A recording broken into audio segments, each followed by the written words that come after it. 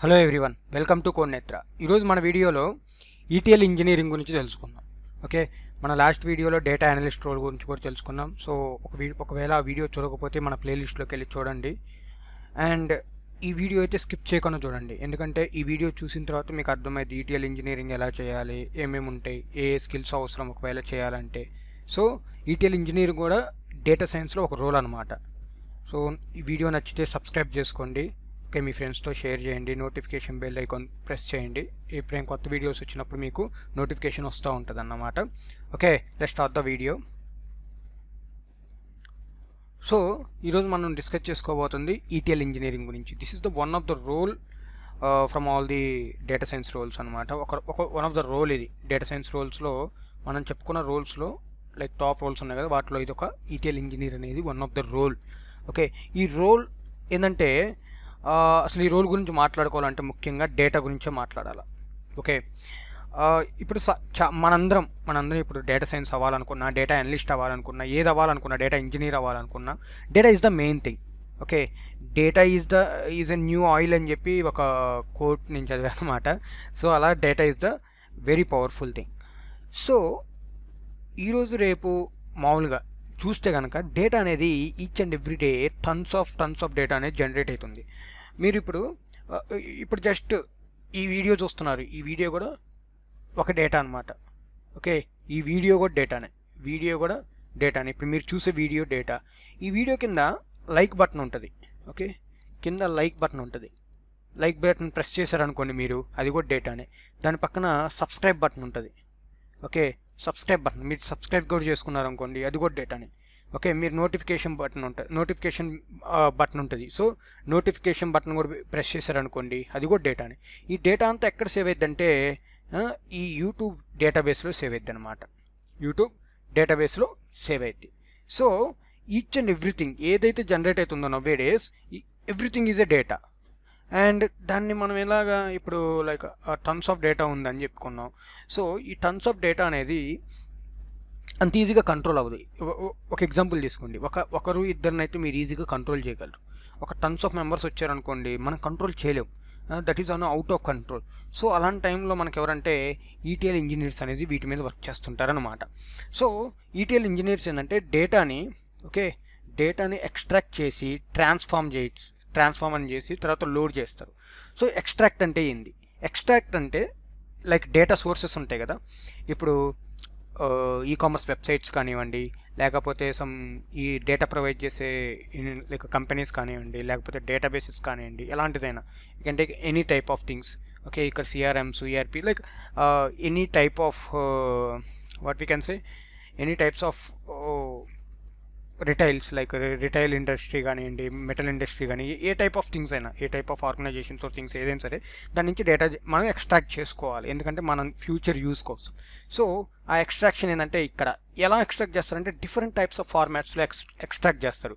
ఇప్పుడు సపోజ్ మీరు ఒక సేల్స్ డేటాని ఎక్స్ట్రాక్ట్ చేయాలి. ఏది? ఈ కామర్స్ వెబ్సైట్ నుంచి ఈ కామర్స్ వెబ్సైట్ నుంచి మీ సేల్స్ డేటా కానీ మీ యూజర్ డేటా కానీ మీరు ఎక్స్ట్రాక్ట్ చేయాలనుకుంటున్నారు. ఆ డేటా ఎలా ఉంటుంది? సమ్ టేబుల్ ఫార్మాట్లో ఉంటుంది. ఓకే ఇక్కడ ప్రొడక్ట్ నేమ్ ఉంటుంది. అండ్ ప్రొడక్ట్ నేమ్ తర్వాత ప్రొడక్ట్ కాస్ట్ ఉంటుంది.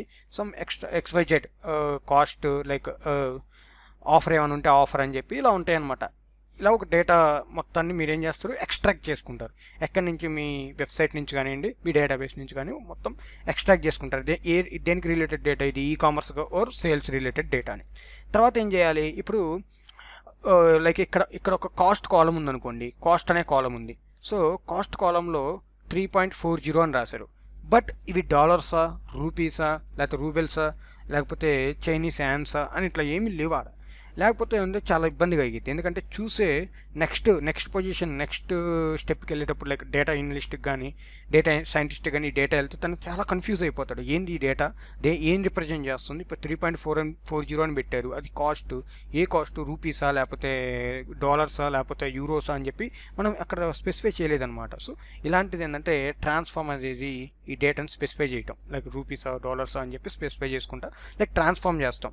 అవసరమైన వాటిలోకి మనం డేటా అంతా ట్రాన్స్ఫార్మ్ చేస్తాం. లైక్ మ్యాప్స్ చేస్తాం. అన్వాన్ లైక్ కొన్ని కొన్ని డేటా లైక్ డేటా సెట్స్ నుంచి like CSC files different files నుంచి వేరే ఫైల్స్కి మ్యాప్ చేసుకోవటం కానీ ఇలాంటివన్నీ ఇక్కడే అనమాట ట్రాన్స్ఫర్మేషన్ అంతా డేటా ట్రాన్స్ఫర్మేషన్ అంతా ఇక్కడే జరుగుతుంది. తర్వాత ఏమైందంటే లోడ్ అయింది లోడ్ దేంట్లోకి ఏదంటే డేటా వేర్ హౌస్లోకి లోడ్ అయింది data warehouse is like ఇప్పుడు మీరు ఈ కామర్స్ థింగ్స్ ఉంటాయి. ఇప్పుడు అమెజాన్ ఉంది లేకపోతే నింజా కార్ట్ లేకపోతే ఈ డిఫరెంట్ టైప్స్ ఆఫ్ థింగ్స్ ఉన్నాయి. ఈ ఫ్లిప్కార్ట్ కానీ ఇవన్నీ ఎక్కడ పెడతాయి అంటే వీటి వస్తువులు వేర్ హౌస్లో పెడతాయి అనమాట వేర్ హౌస్ అంటే ఏదంటే ఓ పెద్ద షెడ్లా ఉంటుంది. దాంట్లో మీ ప్రొడక్ట్స్ అన్నీ పెట్టుకుంటారు. సో ఇలా ఇవి వేర్ హౌస్లో స్టోర్ చేస్తారు ఈ డేటా మొత్తాన్ని. క్లీన్ చేసి మొత్తం ట్రాన్స్ఫార్మ్ చేసిన డేటా మొత్తాన్ని వేర్ హౌస్లో స్టోర్ చేస్తారు. ఇది ప్రాసెస్ ఈ ప్రాసెస్ ఇలా జరిగింది. సో దీంట్లో మీరు ఏం చేస్తారంటే డిఫరెంట్ టూల్స్ అనేవి యూజ్ చేస్తారు. లైక్ డేటా వ్యాలిడేటర్ కానీ సో కొన్ని టూల్స్ ఉంటాయి. Different types of tools. So అవైతే దాని మీద నెక్స్ట్ ఇంకొక వీడియో చేసుకుందాం. ఎందుకంటే ఆ టూల్స్ అనేవి యూజ్ చేసుకొని చేస్తారు మోస్ట్ ఆఫ్ టైం ఓకే? మళ్ళీ దీనికి కొన్ని స్కిల్స్ అయితే పక్కా కావాలి కదా? సో ఆ స్కిల్స్ గురించి అయితే డిస్కస్ చేసుకుందాం. ఇవి స్కిల్స్ అనమాట సో స్కిల్స్ గురించి కూడా డిస్కస్ చేసుకున్నాం ఎస్క్యూఎల్ స్ట్రక్చర్డ్ క్వైరీ లాంగ్వేజ్. మీరు ఈ డేటాని ఏ ఎక్కడి నుంచి తీసుకోవాలన్నా కలెక్ట్ చేయాలి కదా ఫస్ట్. కలెక్ట్ చేయాలి కాబట్టి దీనికి స్ట్రక్చర్డ్ క్వైరీ లాంగ్వేజ్ అనేది చాలా అవసరం. సో పెరమెటైజే పారామీటరైజేషన్ ఓకే? ఇదేంటంటే మీకు ఈటీఎల్ టూల్ ఒకటి ఉంటుంది. ఆ టూల్ ఏంటంటే రీయూజబిలిటీ కోడ్ రీయూజబిలిటీ చేసుకోవడానికి లైక్ ఇప్పుడు మీ మన ఎక్సెల్ ఉందనుకోండి ఎక్సెల్ ఎలాగ ఒక ఫార్ములా రాసుకుంటాం. ఫార్ములా రాసుకున్న తర్వాత దాన్ని డ్రాగ్ చేస్తే ఆ ఫార్ములా ఎక్కడ పెట్టినా వర్క్ చేస్తూ ఉంటుంది ఆ కాలంలో సో ఆ కాలం అనే కదా. ఎక్కడైనా సరే ఆ ఫార్ములా వర్క్ చేస్తూ ఉంటుంది. ఎటు పక్క ట్రాక్ చేసిన. సో అలా అనమాట సో దీనికి కూడా కొన్ని పారామీటర్స్ ఉంటాయి అవి సెట్ చేసుకుని పెట్టుకుంటాం. ఆ పారామీటరైజేషన్ అనేది ఒక స్కిల్ అనమాట దీంట్లో. తర్వాత స్క్రిప్టింగ్ లాంగ్వేజ్. లైక్ పైథాన్ అయితే పక్కా తెలియాలి. ఎందుకంటే one of the software engineer రూల్స్లో ఇది కూడా ఒకటి రియల్ ఇంజనీర్. లైక్ వాటికి సంబంధించింది. సో స్క్రిప్టింగ్ కూడా పక్కా కావాలి. ఆర్గనైజేషను లైక్ ఒక మంచి లైక్ ఆర్గనైజేషన్ అంటే ఆర్గనైజింగ్ అనుకోండి డేటాని. ఎట్లా ఇట్లా ఆర్గనైజ్ చేయాలి ఇట్లా ఆర్గనైజ్ చేయాలని చెప్పి డేటా ఆర్గనైజింగ్ అనేది బాగా తెలియాలన్నమాట. Next creativity. Data like creativity అంటే మల్టిపుల్ టైప్స్ ఆఫ్ క్రియేటివిటీ అనుకోండి.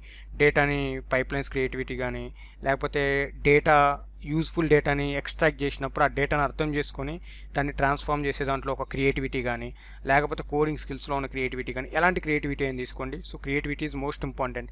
Not only for ETL engineering it is very very important for each and every role in data science okay creativity communication skills are most most important things and then debugging debugging this is very very important we know that debugging అంటే ఏంటంటే and ఎప్పుడైనా errors వచ్చినాయి అనుకోండి వాటిని debug చేసుకోవాలా? Okay bugs ఉంటాయి. తెలుసు కదా చిన్న చిన్న బగ్స్ ఏమైనా యాప్లో ఎర్రర్ సారీ మనం యాప్ యూజ్ చేస్తూ ఉన్నాం చిన్న ఎర్రర్ వచ్చింది మనం ఏం చేస్తాం? బగ్ రిపోర్ట్ చేస్తే వాళ్ళు రెక్టిఫై చేసి అప్డేట్ చేస్తారు యాప్ని సో అలా బగ్గింగ్ డిబగ్గింగ్ uh, అనేది పక్కా అవసరం. ఇంకా ఈటీఎల్ టూల్స్ ఇంక ఈటీఎల్తో వర్క్ చేస్తుంటే ఈటీఎల్ టూల్స్ తెలియాలి కదా సో ఈటీఎల్ టూల్స్ కూడా మీకు మంచిగా వాటిలో అయితే స్కిల్ ఉండాలి. సో ద ఫైనల్ రోడ్ దీని పాత్ చూద్దాం ఫైనల్గా so data processing and ETL steps. ఫైనల్గా చూడండి. ఓకే. చూడండి data processing and ETL step within. First ఏంటంటే data source. Data stores source ఏంటి డిఫరెంట్ uh, ప్లేసెస్ నుంచి వచ్చింది డేటా సోర్స్ అయితే. ఓకే uh, సేల్స్ డేటా కానీ సిఆర్ఎం డేటా కానీ third party data ERP etcetera ఏ డేటా నుంచైనా ఇది ఇది ఫ్లో వర్క్ ఫ్లో అనమాట ఓకే ఏ ఎక్కడి నుంచైనా రానియండి. Okay?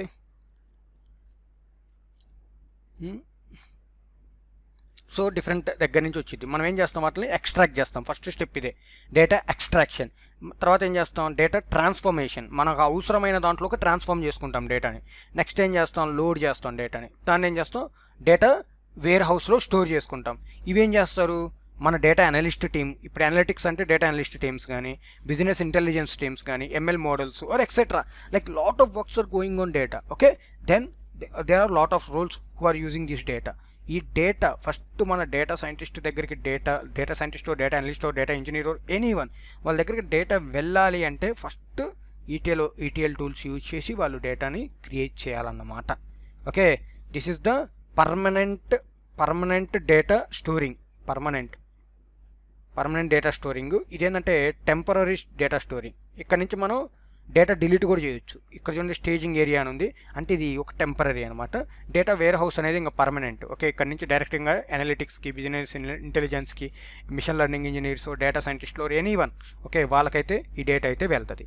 Okay like this is about ETL engineering okay this is about ETL engineering work flow కానీ స్కిల్స్ కానీ అవసరమైన స్కిల్స్ కానీ ఓకే వీడియో చూడంగానే సరిపోదు. Try to if you are interested in ETL engineering try to search for ETL engineering and try to work on this okay this is very very important okay guys okay thank you thank you everyone మీకు ఒకవేళ video నచ్చితే like చేయండి subscribe చేయండి notification bell icon press చేయండి and మీ ఫ్రెండ్స్తో కూడా share చేసుకోండి ఈ video. Okay this is like one of the useful video I hope okay thank you thank you everyone have a great day bye